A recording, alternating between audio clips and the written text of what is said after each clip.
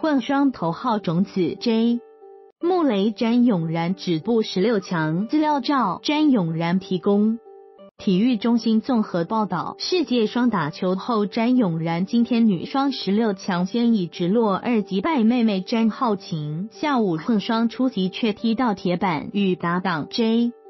穆雷 Jamie Murray 虽身为头号种子，但以六比七、八四比六被直落二爆冷不敌地主组合桑德斯 Storm Sanders、波尔曼斯 Mapplemans，无缘晋级八强。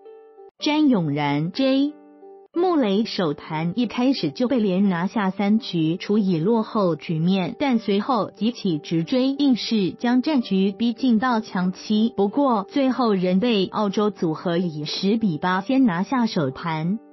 而第二盘双方取得三比三之后，桑德斯波尔曼斯率先破发，连下三局。虽然詹永然爆发成功，但仍无力逆转战局，最后让对手直落二零球。